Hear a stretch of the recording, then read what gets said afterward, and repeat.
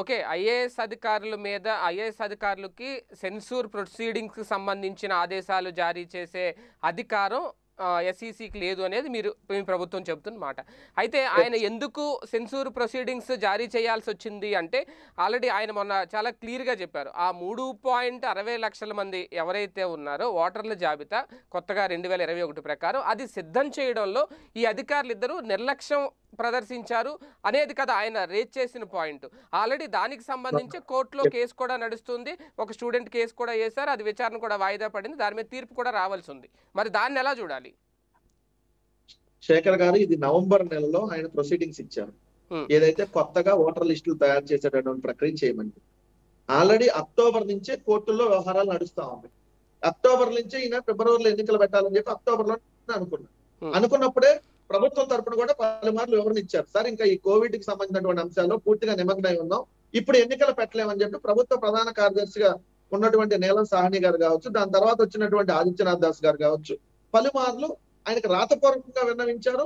పర్సనల్గా కూడా కొన్నిసార్లు కలిసి చెప్పినటువంటి మాట మనందరం చూసాం ఇంత క్లారిటీగా చెప్పినప్పుడు మరి నేను సూటిగా అడుగుతున్నా మీరు నిజంగా ఎన్నికలకు సంబంధించినటువంటి ప్రక్రియ స్టార్ట్ చేయాలన్నప్పుడు ఇదే మీరు అనుకున్నట్టుగా వీళ్ళు కానీ టైం ప్రకారం ఓటర్ లిస్ట్ కానీ మీకు అందచేయనప్పుడు.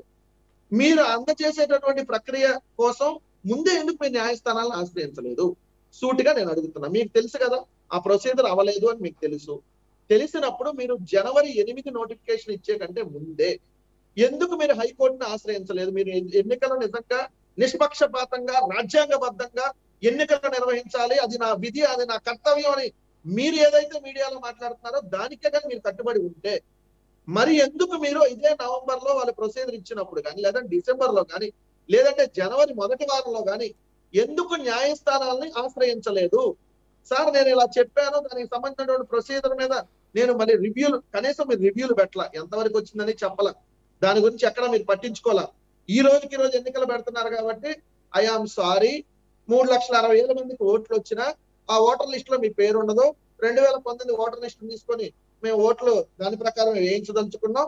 అని చెప్పి మీరు ఓపెన్గా చెప్తే అసలు ఇది- రాజ్యాంగంలో ఈ ప్రజాస్వామ్య దేశంలో ప్రపంచంలోనే అతిపెద్ద ప్రజాస్వామ్య దేశమైనటువంటి మన భారతదేశంలో మూడు లక్షల అరవై రెండు వేల మంది ఓటు హక్కు కోల్పోతున్నారంటే దానికి నిమ్మగడ్డ రమేష్ కుమార్ గారు బాధ్యులు కాదని మేము అడుగుతా ఉన్నాం.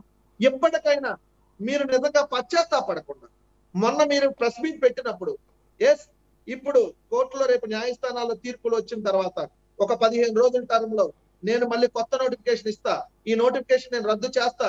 చేసి ఈ మూడు లక్షల అరవై రెండు వేల మందికి నేను ఓటు హక్కు కల్పించి నా రాజ్యాంగబద్ధంగా నాకు నేను ఈ రోజు వ్యవహరిస్తానని చెప్పి ఎందుకు మీరు మాట్లాడలేదు నన్ను అడుగుతా ఉన్నా? ఇప్పటికైనా ఉన్న ముంచుకుపోయింది ఉందా మూడు లక్షల అరవై రెండు వేల మందిని కొత్త ఓటర్ లిస్ట్ యాడ్ చేసి ఈ ఫిబ్రవరిలో ఏదైతే మీరు అనుకున్నారో ఎన్నికలు దాన్ని మార్చిలో పెట్టొచ్చుగా? లేదంటే ఫిబ్రవరి ఎండింగ్ స్టార్ట్ చేయొచ్చుగా? ఈ ఇరవై రోజుల్లో టైం తీసుకొని ఈ ప్రొసీజర్ అయిపోయినా స్టార్ట్ చేయొచ్చుగా.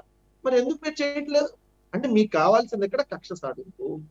మీకు కావాల్సింది ఏకపక్షంగా మీరు అనుకున్నది సాధించాలి. ఇక్కడ ప్రజలు ఓట్లు వేసినా వేయకపోయినా మీరు ఎన్నికల కమిషనర్గా మీకు అది బాధ్యత లేదన్నట్టుగానే మీరు ప్రవర్తిస్తా ఉన్నారు. ఒక ఎన్నికల కమిషనర్ ఒక ఎన్నికల సంఘంగా పెద్దగా ఉన్నటువంటి మీరు ఒక్కళ్ళు కూడా ఓటు హక్కు కోల్పోకూడదు. ప్రతి ఒక్కళ్ళు ఓటు హక్కు వినియోగించుకోవాలని చెప్పి ఏదైతే చెప్పాల్సినటువంటి బాధ్యతాయుతమైనటువంటి పదవిలో ఉన్న మీరు అని మూడు లక్షల అరవై రెండు వేల మందే కదా. వాళ్ళు ఓట్లేస్తే అంత వేయకపోతే అంత అన్న తీరుగా మీరు ఉన్నారంటే ఇది ప్రజాస్వామ్యమా? ఇది రాజ్యాంగబద్ధమా? మీరు రాజ్యాంగబద్ధంగానే వ్యవహరిస్తా ఉన్నారా? నిమ్మగడ్డ రమేష్ కుమార్ గారు అని నేను సూటిగా అడుగుతా ఉన్నా. ఒక పౌరుడిగా ఒక బాధ్యతాయుతమైన పౌరుడిగా నేను అడుగుతున్నా ఒక పార్టీ నాయకుడిగా అడగట్లా. రాజకీయాల గురించి నేను మాట్లాడట్లా. ఓటు హక్కు వాళ్ళు ఎవరికైనా ఓటేసుకోవచ్చు. ప్రజాస్వామ్యంలో ప్రతి ఒక్కళ్ళకి ఓటు హక్కు ఏదైతే పద్దెనిమిది సంవత్సరాలు నిండినటువంటి అరుగులకి అది కులాలకి మతాలకి ప్రాంతాలకి అతీతంగా ఓటు హక్కు కల్పించాల్సినటువంటి బాధ్యత ఏదైతే మన మీద ఉందో ఆ బాధ్యత ప్రకారం మీరు ఓటు హక్కు వచ్చిన తర్వాత వాళ్ళకి మీరు ఈ ఓటర్లు మీరు ఓటు హక్కు వచ్చినా నేను మీ ఇప్పుడు పరిగణలోకి తీసుకోను. రెండేళ్ళ క్రితం రెండు వేల పంతొమ్మిదిలో ఉన్నటువంటి ఓటర్ లిస్ట్ నేను పరిగణలోకి తీసుకుంటానని మీరు చెప్తే ఇది దిస్ ఇది రాజ్యాంగం నేను అడుగుతున్నాను ఇది బాధ్యత ప్రభుత్వానికి లేదా? వెంకటరెడ్డి గారు ఇదే బాధ్యత ప్రభుత్వానికి లేదా? మూడు లక్షల అరవై వేల మందితో ఓట్లు వేయించే బాధ్యత మీ ప్రభుత్వానికి లేదా? సార్ ఇక్కడ రెండు వ్యవస్థలు సమన్వయంగా వెళ్తేనే ఒక పని అయింది. ఇక్కడ ప్రభుత్వం క్లారిటీగా దీనికి సంబంధించి ఇప్పుడు కాదు అని చెప్పింది. కాదు అని చెప్పినప్పుడు ఆ ప్రొసీజర్ పక్కన పెడతారు ఎవరైనా. ఆయన అవును నేను ఇప్పుడు చేసేయాలని వెళ్తా ఉన్నప్పుడు ప్రభుత్వానికి నిజంగా ఈ ఓటర్లందరూ న్యాయం చేసేది ప్రభుత్వమే కదా సార్? ఎన్నికల సంఘం వాళ్ళు వచ్చి మరి ఇప్పుడు ఆ యువ ఓటర్లకు న్యాయం చేసేది ఎవరు? ఆ యువ ఓటర్లకు ఇప్పుడు న్యాయం చేసేది ఎవరు? వాళ్ళ ఓటు హక్కు వినియోగించుకోలేకపోతున్నారు కదా ఇప్పుడు. ద గ్రేట్ న్యాయస్థానాలు చేస్తాయి సార్.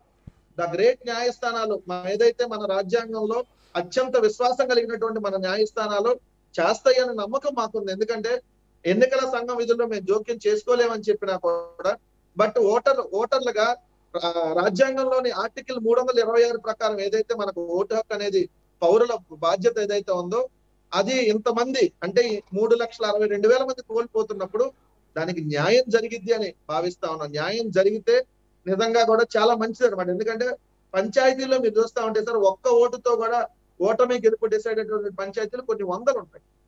చిన్న చిన్న విలేజెస్లో అలా అనుకుంటే పరిగణలో తీసుకుంటే మరి ఇప్పుడు ఎన్నికలు జరగాల? ఆగాల. అంటే న్యాయస్థానాలు నో, నో, న్యాయస్థానాలు ఏ తీర్పునిస్తాయనేది మనం చెప్పలేము. సో మేము అనుకోవడం రేపు హైకోర్టులో కానీ దీనికి వ్యతిరేకంగా ఆ మూడు లక్షల అరవై వేల మంది పోయినా పర్లేదు ఇప్పుడు ఆల్రెడీ నోటిఫికేషన్ ఇచ్చారు కాబట్టి వచ్చే ఎన్నికల్లో ఓటేయండి అని అంటే మళ్ళీ ఆ పిటిషనర్ సుప్రీం కోర్టు కూడా ఆశ్రయించవచ్చు కదా. సో మరి ఈ లోపు మళ్ళీ ఇక్కడ ఫస్ట్ పేజ్ ఎన్నికలు అయిపోతాయి? అంటే మరోసారి సుప్రీంకి వెళ్ళి ఆలోచన చేస్తుందా ప్రభుత్వం? ప్రభుత్వానికి సంబంధం లేదు కదా సార్. పిటిషనర్ ఎవరైతే వేశారో పిటిషనర్ ఎవరు? ప్రసాద్ రెడ్డి సంథింగ్. శివప్రసాద్ రెడ్డి అని ఎవరో పిటిషనర్ Hmm. ఎవరో దూల్లిపాల అఖిలన సంథింగ్ అమ్మాయి ఓటు హక్కు. దాని మీద నాకు. ఓటు నేను స్టూడెంట్ నాకు ఓటు వచ్చింది అయినా కూడా ఇప్పుడు వేయడానికి అవకాశం లేదన్నారు కాబట్టి మా ఓటు కల్పించండి అని చెప్పి అడిగినప్పుడు Hmm. సో దాని విధంగా ఖచ్చితంగా ఎందుకంటే సార్ ఇప్పుడు మీరు సినిమా చూస్తుంటారు సర్దార్ సినిమా అనేది ఆ సినిమాలో మీరు విజయం ఉంటాడు మీరు Hmm. చూస్తుంటారు ఒక అతను. ఓటు దొంగ ఓటుగా వేస్తే అతను ఓటు కోసం మొత్తం ఆ ప్రక్రియ ఆపేసింది అక్కడ న్యాయస్థానం అప్పుడు ఆ సినిమాలో కూడా వాస్తవంగా రూల్ ప్రకారం కూడా అలా జరగాలి. ఎందుకంటే ఒక ఓటు దొంగ ఓటు వేసినా కూడా లేదంటే అతనికి ఓటు ఉండి ఆ ఓటుని వేయలేనటువంటి పరిస్థితి కల్పించినటువంటి ఎన్నికల సంఘము లేదంటే ప్రభుత్వం ఎవరున్నా సరే అక్కడ వాట్ ఎవర్ ఉన్నప్పుడు కూడా ఖచ్చితంగా న్యాయస్థానాలు సరైన తీర్పునివ్వాలి. తీర్పుని బట్టి ఉంటది. బాధ్యత చేయాలి.